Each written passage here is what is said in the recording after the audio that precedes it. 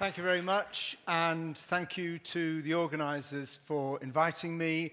And like Paul, Zenon, who was on earlier on, my apologies for not speaking in Bulgarian.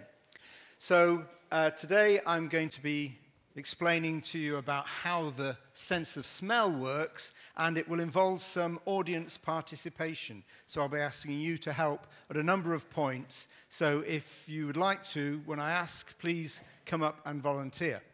So there are lots of different kinds of noses in the animal kingdom. Uh, every one of those structures you can see there is a nose. I'm sure none of you will be able to identify all of them. The one on the very top right that's a star-nosed mole.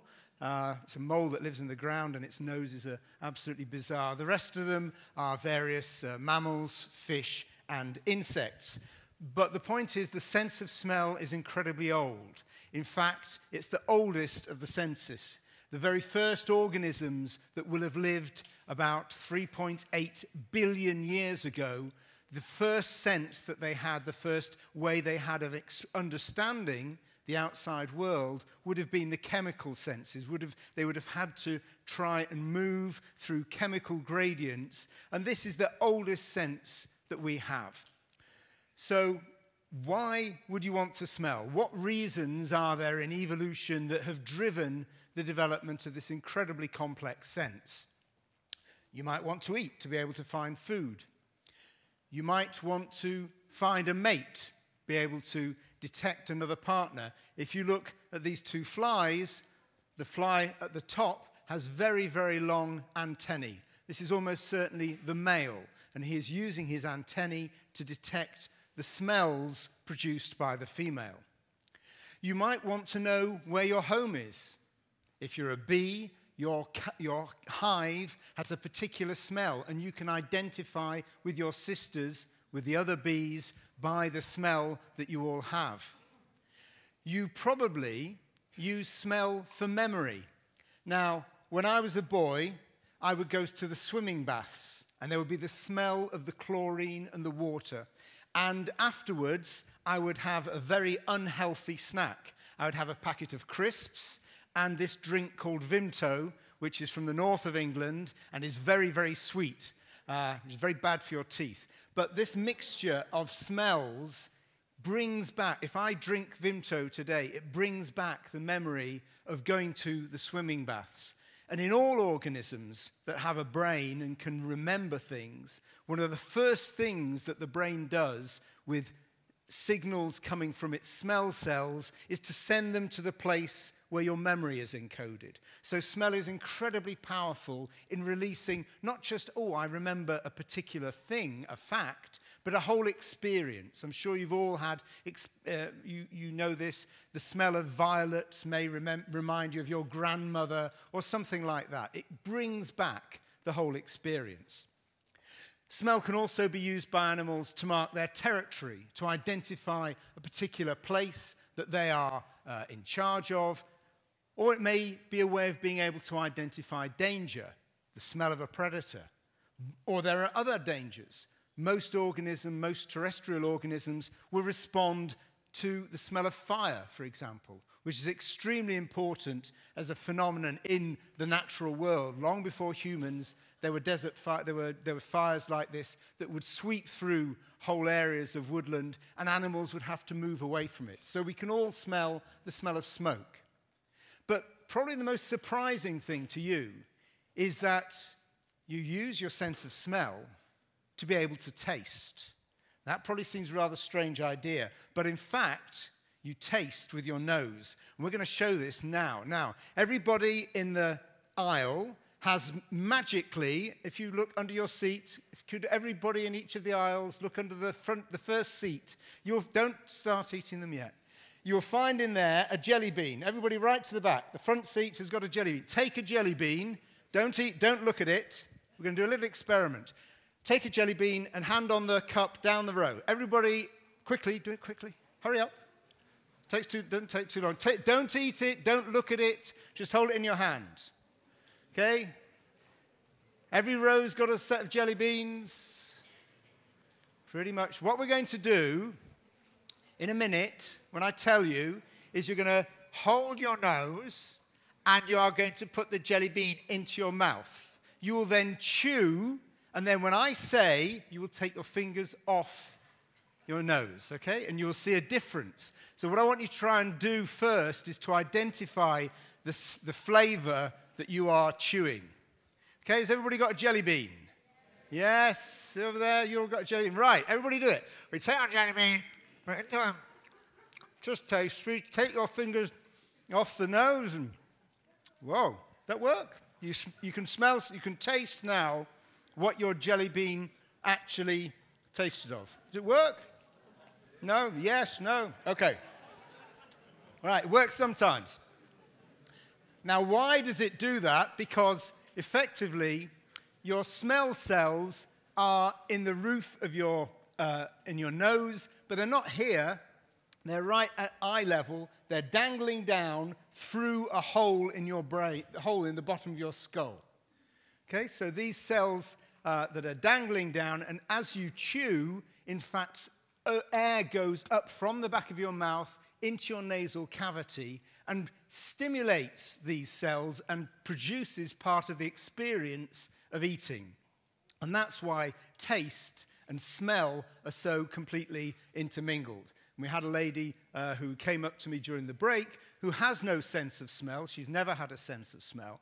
And that has an effect for people who've lost their sense of smell or have been born without it, then their sensory experience is different from the rest of us.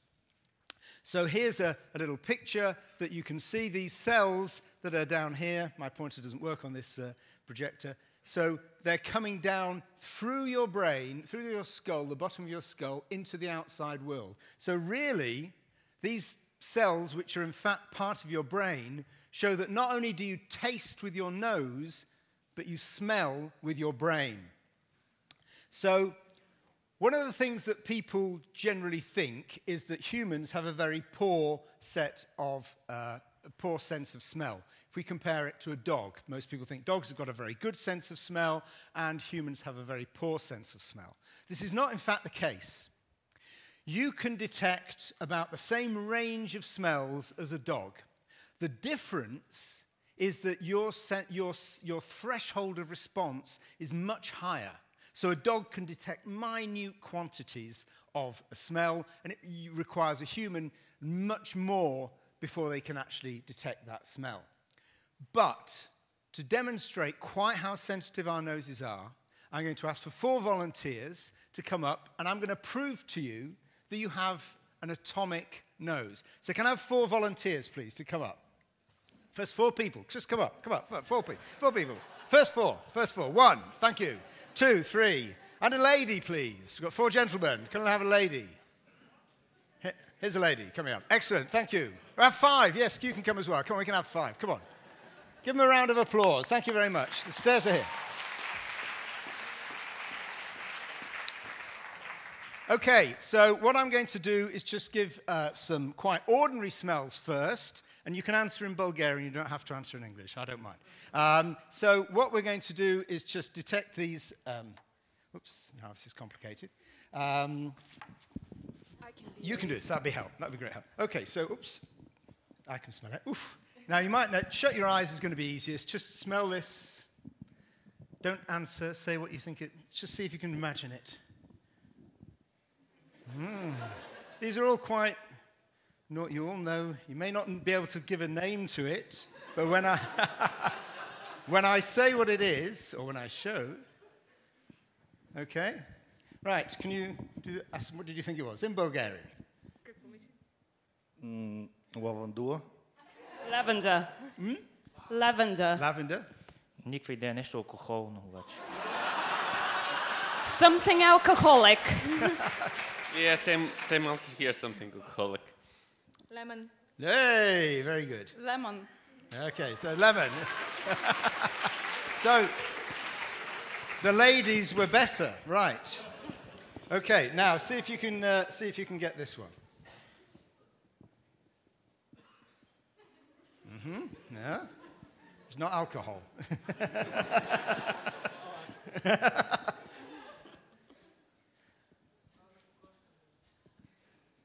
Oh dear, she didn't like that. Sorry.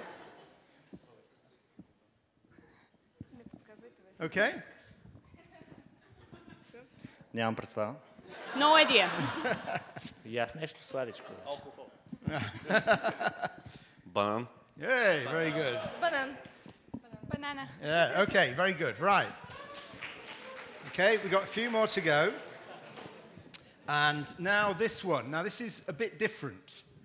but see if you can.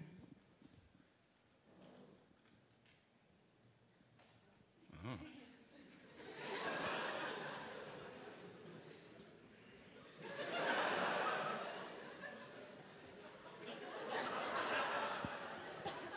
You have a very sensitive nose.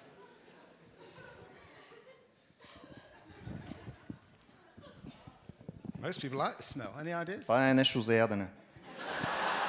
Something to eat, he says. Ah, it's very good. Съжалявам, на мен на крака ми мирише. It smells of feet. А, хляб или фастъци? Bread or peanuts. Oh, Those two don't smell the same. I'm not really sure. Something moldy. moldy. Popcorn. Popcorn. Well, it's toast. Toast. Okay, right. One more, and then we'll do the atomic thing. So here's another smell. So this is not a foodstuff. You can't eat this, okay? So the audience knows what it is. You can't eat this. It's very important.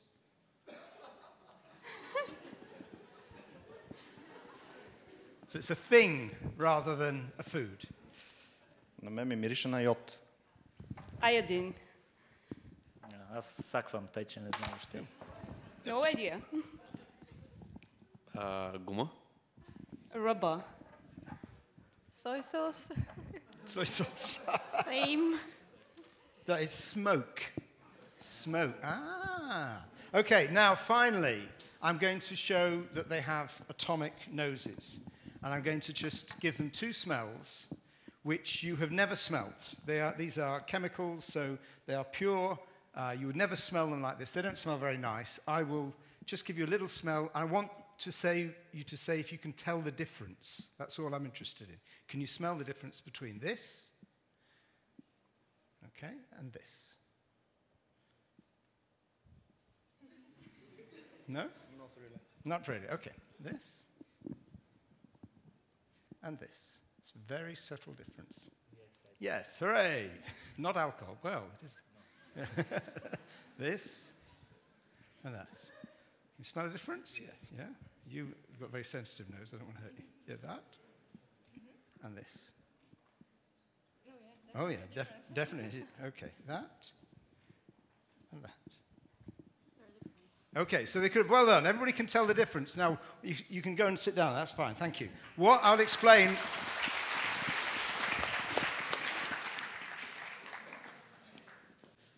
That was the first smell. And that was the second smell. Now, that doesn't mean anything. And the reason is that that is the number of carbons that there were in those two smells. So the first smell was an alcohol. The gentleman was absolutely right. They were both alcohols, but you shouldn't drink them. The first one has got seven carbons and is called heptanol. And people say it smells violet, sweet, woody. The second smell had eight carbons, so just one carbon atom more, and people say it smells sweet, orange, rose. So there's kind of an overlap, but they're different. And most people could smell that there was something different. And what they were picking up was a single atom of carbon. The only difference between those two molecules is one atom of carbon on the end. So when people say we don't have a very sensitive sense of smell, we can detect the difference between a single atom of carbon in two compounds. So that's quite an amazing feat. The question then arises how does it work? And our understanding of how the sense of smell works, as in most bits of science, in fact, goes back to the ancient Greeks. So the first person to come up with the idea to think about this seriously was Democritus, or Democritus if you prefer the Greek uh, title. So Democritus was the first atomist.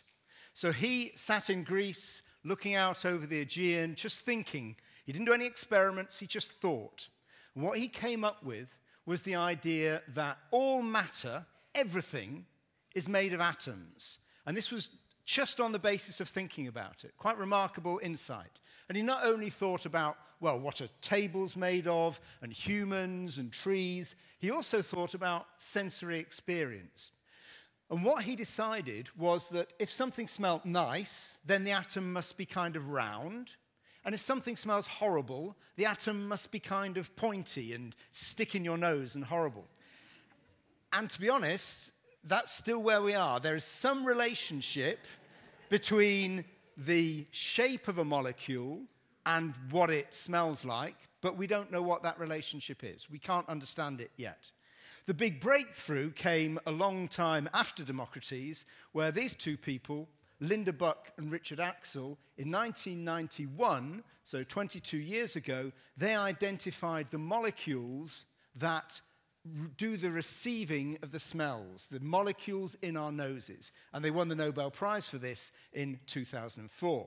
So if we go back to our diagram of the brain, what they identified were the molecules right on the outside of these cells, on their first surface, that are a bit like a lock. If you imagine that a smell is like a key, and you have a lock which is on your cell, and the smell comes in and activates that receptor, as it's called. Now, that's the basic idea about how the sense of smell works, but you'll have noticed that it's rather vague. So we want to know how does is that it? Is that how does it really, really work? And the answer is very simple. We don't know. And those are the best answers in science because the question then becomes how can we find out? Because science is not just about knowing lots of stuff, it's great fun knowing stuff, but the really exciting thing about science is finding out stuff we don't know. So the first thing you need to do is to find a question that we don't know the answer to. So, how does the sense of smell work is the thing that I'm really interested in. Now, there's lots of ways of trying to study that. This is one way that people do. And I don't particularly fancy doing that. So I've chosen a different way of trying to understand how the sense of smell works. And I use this. Now, these are maggots. Maggots are baby flies. What's the Bulgarian word? No, not larvae. What's the, what's the word that ordinary people use? Not larvae, but. Yeah, okay, those words. I, could, I, use the same word in English. In English, it's maggot, which is a very old word. It's not the Latin scientific word, which is larvae. I call them maggots because that's what ordinary people call them. So these maggots, when you look at them very, very close up, this is what it looks like. And the things marked D are its noses. They're not its eyes, they're its noses. Now, I study these maggots. And there's a very simple reason why I study them. You and I have 4 million smell cells, and they're grouped into about 400 different types. My maggot has just 21, and each of those cells is different. So, from a point of view of simplicity, it's a very, very simple model, much simpler than a human being. What's amazing is that despite all the, the differences and the fact that we've been separated from flies for about 600 million years, the way our brains are wired up to detect smell is essentially the same. So any animal has basically the same structure in its brain for detecting different smells. So we can use the maggot as a model for trying to understand smell in general, including in us. So I'm going to take you now to a journey to the center of the nose. So what we're going to do is zoom in on those two things, those round blobs marked D. When you get very, very close, you can see it's a dome. And if you get really, really close, you can see that the dome has got lots of pores, small slits in it. And that, we think, is how the smell actually gets into the nose. And this dome, this round structure, if you cut it through, is in fact composed of these 21 smell cells that branch and mingle at the top. You can see there are 21. I'm going to have to get down. I'm going to have to point at this. So there are these, they're in seven bundles of three cells all around the dome, and they branch up and form this dome like structure. Now, these are not just any maggots. They're not maggots you go fishing with. They're geneticist maggots. So some of you who may have studied this fly, Drosophila melanogaster. So this is the fly that was used when basically we discovered the laws of genetics. Morgan and his students discovered genetics in the, nine, in the early years of the 20th century using this uh, particular fly. And we have sequenced its genome. You will see later on we can do the most amazing things with this fly because we have a lot of tools and people have been studying it for 100 years. The problem is, it's not as big as that, it's as big as this. That's a USB key. So if you've never seen one of these flies, they are really, really, really small. They're the kind that you get hovering around your beer or your wine in the summer, very, very tiny. So there's a big disadvantage to using flies because they're so small. But we can get over that. But as I said, in fact, I don't study the adult form, I study the maggot. And that's basically all that maggots do. They just wriggle along like that. And they are extremely stupid. They're very simple, they're very hungry. So if you're interested in the sense of smell or in taste, then they provide a very useful model because they can always do exactly more or less what you want. They move like that, and if you do complicated analyses of how they move, this is basically all they do. They just wriggle forward, they turn their heads, and very occasionally they'll rear up. But basically, they move in two dimensions and they move towards smells.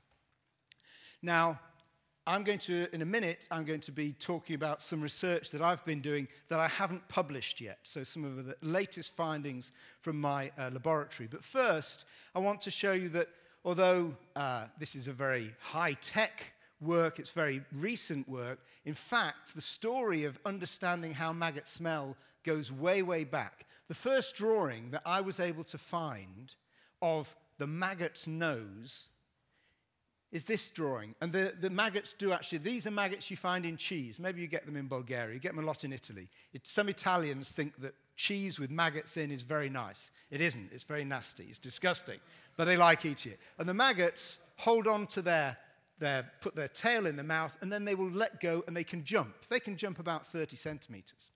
And this man, Jan Swammerdam, who's a Dutchman, in the 17th century, he did this amazing drawing of one of these jumping maggots. And he did it with a tiny, tiny microscope, not the kind of microscope you imagine, a microscope made of a ball of glass one millimeter across. And this was, uh, you can see the top one is a drawing from, that he made, and then I reconstructed exactly what this microscope, which has been lost to us, but what the microscope must have looked like.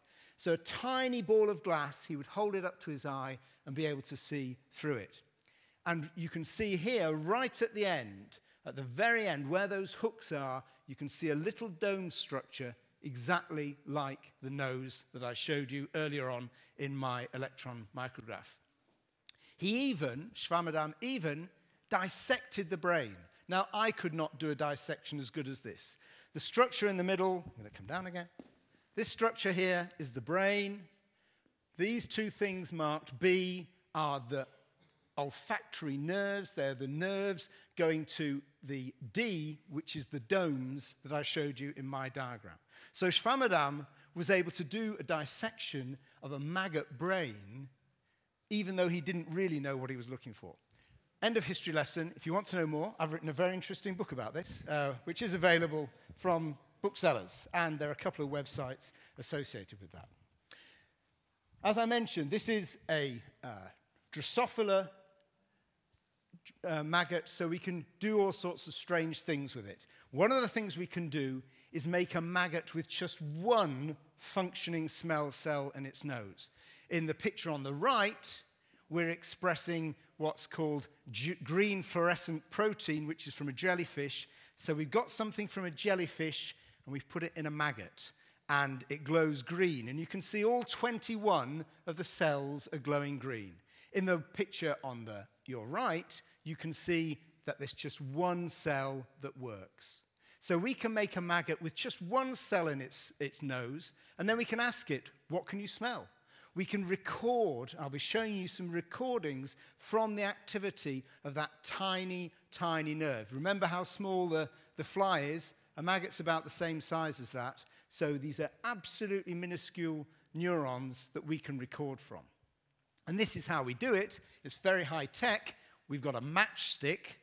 So there's a matchstick here. I'm going to go down. This is a matchstick. We strap the maggot to it. You can see these little black dots in the yellow oval. Those black things are its mouth hooks. And we've got an electrode here, which is going into its back. And we've got an electrode here, which is going right delicately into the dome to be able to record from the nose. And we then blow a smell over it, and we get a particular response. And here's some examples, and it shows that the, the nose is not a computer. What you can see here, this is real data. The green pictures show exactly what the cells are doing. We've got two different cells. One's called, doesn't matter what they're called, what they're 24A and 74A. And we've given them three different smells octanol, which we were smelling up here, this one with eight carbons, and then two other compounds. And basically, you can see that, that each time, in each combination of a smell and a neuron, it's doing something different. It's not just an on off response, it's not a switch. You are getting sometimes the signal stops. If you look at the, the signal for octanol, the cell is firing a lot without any smell. Then you get the smell coming, which is the grey bar or the little bar above the green uh, trace, and the signal stops. So you can get a cell turning off. That's telling the brain information. Each of the shapes of those curves in the, in the, where we've added them all together, each of the shapes is different. So what this shows us is that it's not a binary one or zero response. The nose is giving lots and lots of information to the brain. And this fits with our understanding of how the sense of smell works. Because what we know, this is just a, a figure. It's all, all the data here is made up, but it gives you an idea. What we've got here are different smells, and two of them happen to be the seven and eight we were just smelling. And at the top, we've got the different kinds of receptor. And so each odor is, be, is stimulating more than one kind of receptor, and each receptor can detect more than one kind of odor.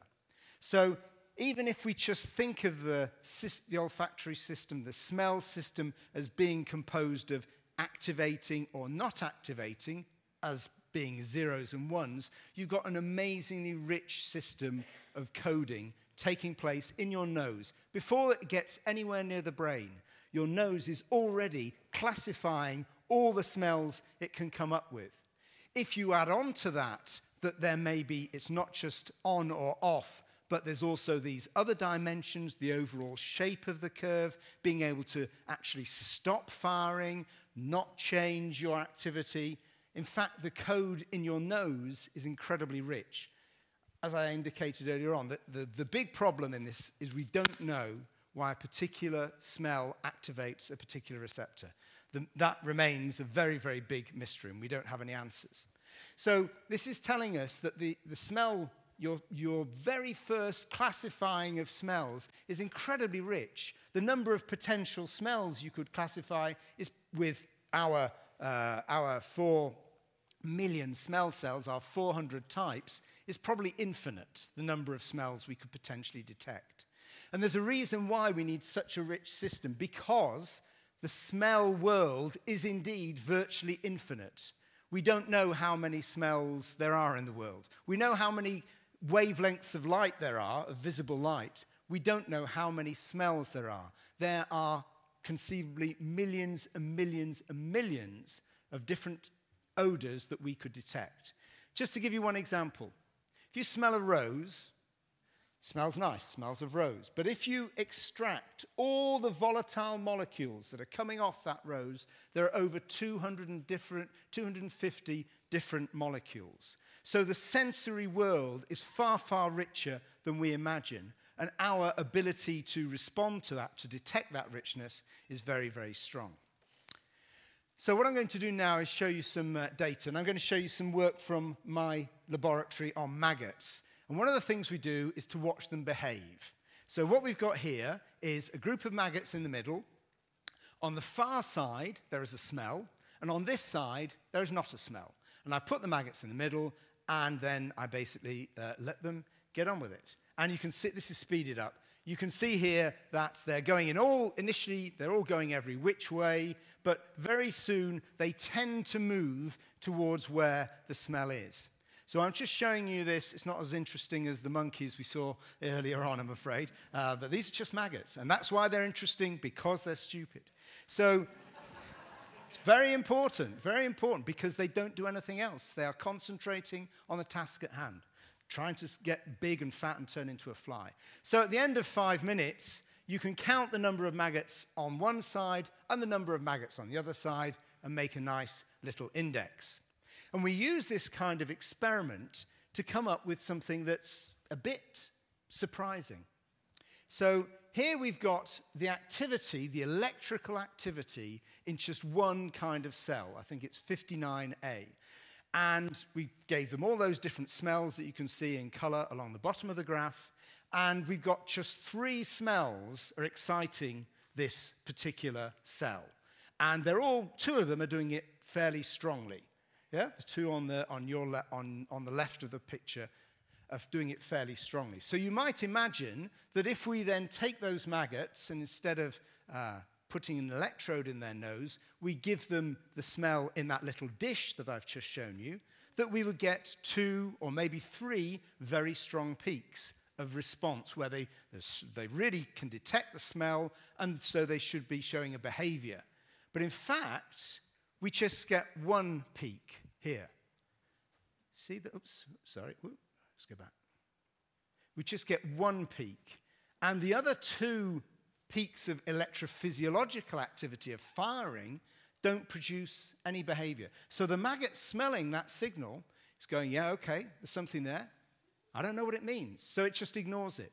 So this shows us two things. Firstly, that of course you have to have activity in a cell for the brain to be able to decide to respond, but that's not sufficient because we've got these two peaks on the right of the curve where we've got strong activity but no behavior. So this is telling us something about the uh, peripheral code. Now, what exactly does the brain, does the nose tell the brain? I indicated earlier on that it's not binary, on or off. We can look at this we've got the grey bar, the vertical grey bar, is when the smell's being delivered. So you get a nice peak of activity, but then when we turn it off, we get another peak of activity, and you can see that in the, in the green uh, line. So this is telling us that the brain is seeing lots of things. It's saying first, there's a change, because each cell is normally just firing every few seconds, just spontaneously. And a response is a change from spontaneous activity. It might go up, it might even get turned off. So you get a change. That can be more activity or less activity, and you also are getting a change over time. So you're not just getting a square on off, you're getting this temporal change. So what this means is that these two things I've just shown you means that it's not we can't reduce our perception of smells to the activity of just one or two or three cells. It's the whole of our cells. It's the cells that aren't responding that are just saying, no, there's nothing there, as alongside the cell that is saying, oh, oh, I can smell something. That together is what produces our impression of a smell. So the image of a smell involves the activity of all the smell cells, not just of one or two. And there will be a set of a kind of template, an image that the brain is expecting that means that, in the case of our maggots, we could get a very strong activity but no behavior because that overall signal of 21 channels with just one cell saying, I can smell something, and the other 20 not responding, doesn't mean anything to the maggot. It has no meaning in its evolutionary past. Now, one thing that I've made some emphasis about is the fact that there seems to be this temporal, this time based structure. It's not just on or off, but there's something going on over time. And that looks quite convincing. But how can we actually prove that that's the case? Now, as I said, these are Drosophila flies. We can manipulate them, and we can do something very strange, which sounds quite surreal. We can make a maggot smell blue. Now, I indicated earlier on I'd taken a jellyfish gene and put it into the fly so we could get this green glowing stuff. What we can do now is we are going to get a molecule that detects light and put that in the nose. So, really, what we've done is we've turned its nose, a smell cell, into an eye. That smell cell will still respond to smells, but we can now activate it with light. So, by shining a blue light, the smell cell then responds. So we can then have a different sequence. We can flash the light in very quick successions and make the smell cell respond as though it was smelling a particular smell. Okay? So changing the cell's activity by sequences of light. When I showed this to my daughter, who's 17, she said, Daddy, you have mind control over that maggot. And it's true, you do. I control its mind. Okay? Um, so initially, the maggot is just mooching around. It, it, it's just trying to find something interesting to smell. And you can see from the past traces from the previous 30 seconds, it's not doing anything. Now we flash the blue light in a particular sequence, and it, there's something there. It's, it's not, it, this, there was a smell, it's gone. Where did it come from? And the maggot is now moving in a direction. So we've gone from very random behavior to now the maggot is responding. And that tells us, therefore, that the sequence of electrical activity we put into its brain by flashing the light means something to the maggot. And we were able to come up with something quite remarkable. So, if you, you can't quite see this, I don't think, what we've got here are two examples of what the maggot neuron does, the cell does, when we stimulate it with blue light. On the, we've got two brief pulses of light of 200 milliseconds, which are separated by a gap of 200 milliseconds in the one on the left and by 300 milliseconds in the one on the right. You might just be able to make out the, uh, the forms at the top. We then gave maggots a whole set of differing gaps between two very brief flashes and saw how they behaved. And what we find, what we've got in this graph, is above the line is just random behavior. Below the line is that movement where they're trying to find somewhere, find where they're going. And basically, what we found, we gave differing intervals, two pulses with longer and longer intervals. This is in milliseconds at the bottom, so it's really brief. You'd barely be able to notice it. But then not only can the neuron notice it, but the maggot's brain interprets it. Because after 300 milliseconds, a gap of 300 milliseconds between two pulses, that means something to the maggot. They always, after that point, show this directional behavior.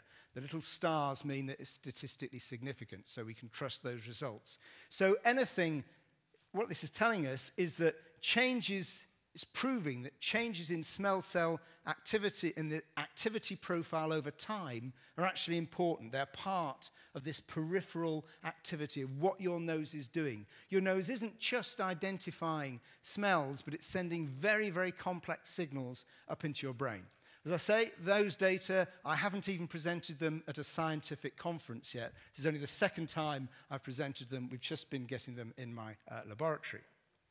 So, to summarize, our smell cells respond by a change in activity, which can be very, very complicated, but above all, by a shape. Each smell cell combination is different, has it induces a different shaped response. And that's the richness of the olfactory code, of the way that we encode smells.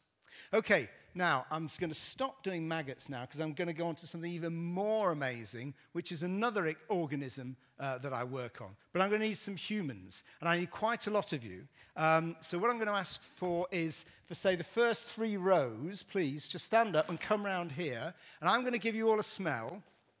Um, okay? And what we're going to be smelling is this, which you can buy in sex shops. It attracts men, allegedly, and it attracts women.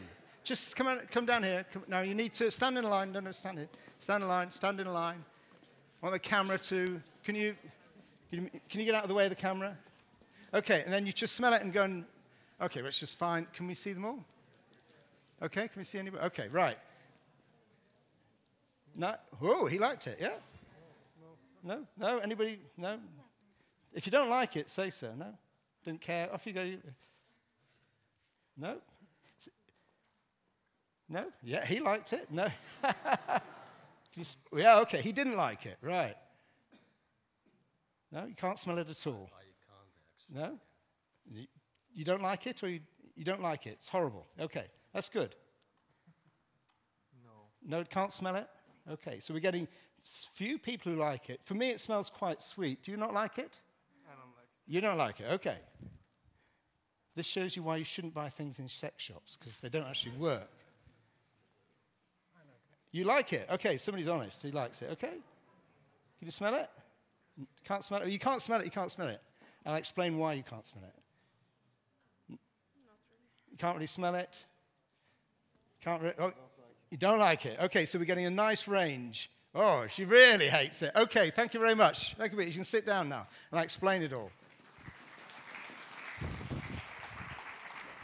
You're welcome to come up to me afterwards and to uh, find out whether you can smell it. Now, so what, what's interesting is we got there people who, like myself, who it smells quite sweet to, a few people who seem to think, hmm, that's really rather nice. Some, a lot of people who can't smell it at all, and then a few people who were absolutely revolted by it and thought it was very horrible. So we've got a big range of responses. Now, just to let you know what it really is, I could have predicted, uh, well, I knew that we would get that range of response. If we'd had another animal in here, she would have liked it a lot because it is, in fact, a pheromone used for inducing uh, mating in pigs. so that's why you don't buy it from sex shops. So it's really for pigs. Now, I said earlier on that we didn't know why a particular smell activated a particular receptor.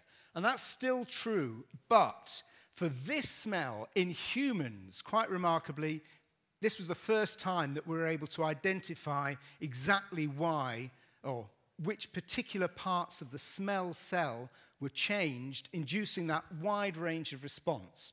It's a bit complicated. So, what we've got here is the receptor. This is the structure of the receptor that we were all just using to smell the smell. And it's got seven wiggly bits in and out of the membrane. So, above the yellow bar is outside of your smell cell, and below is inside. And there are two mutations in humans. One involves a change, it doesn't matter what they are, if you want to know, they're up there, from R to W on the outside, and another involves a change from T to M on the inside. And depending on what combination of these single changes in the genetic code producing differences in proteins, they then produce a different in perception. So we all have two copies of this particular gene, which is able to detect the receptor that that gene encodes is able to detect this smell.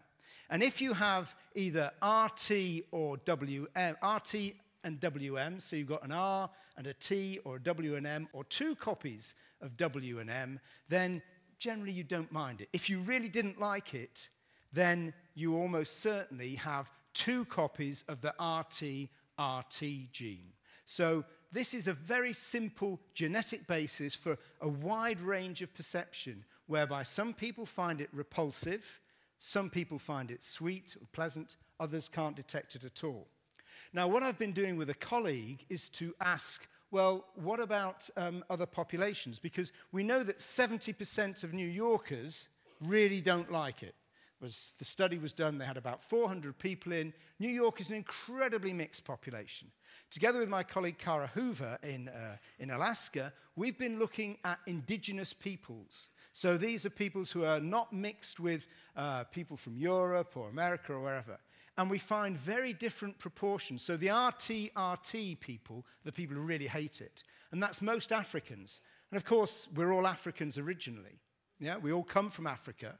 So that we can assume is what humans were originally like. Originally, most of us really didn't like the smell of uh, that androstenone. But in some parts of the world, like in the Pacific, quite a lot, most people seem to like it, of these indigenous peoples. So this is giving us an image of how our sense of smell changed as we spread over the planet.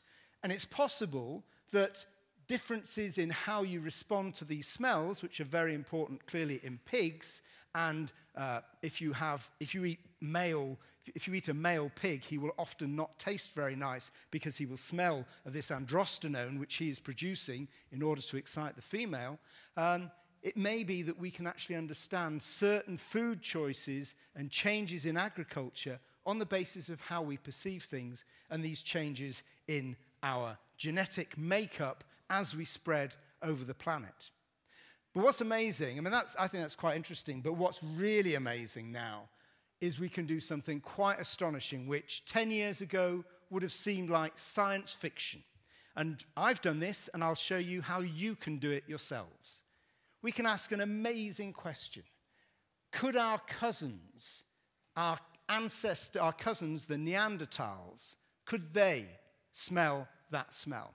You can go and type in OR7D4 because we have share most of our genes, virtually all our genes, with the Neanderthals, and you find something like this, which when you know how to use it, you can understand that in fact the three Neanderthals that we have genetic data for, which is a very small sample size, those three individuals, they all were RT-RT. So they could smell this substance and one would presume would have perceived it in the same way as we did and found it foul and unpleasant.